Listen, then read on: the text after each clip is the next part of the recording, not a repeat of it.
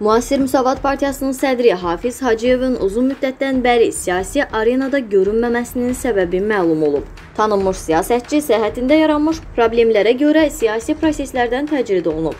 Müasir Müsavat Partiyası sədrinin müavini Könül İsmailovanın sözlərinə görə Hacıyev səhhəti ilə əlaqədar xarici ölkələrdən birinə üz tutub.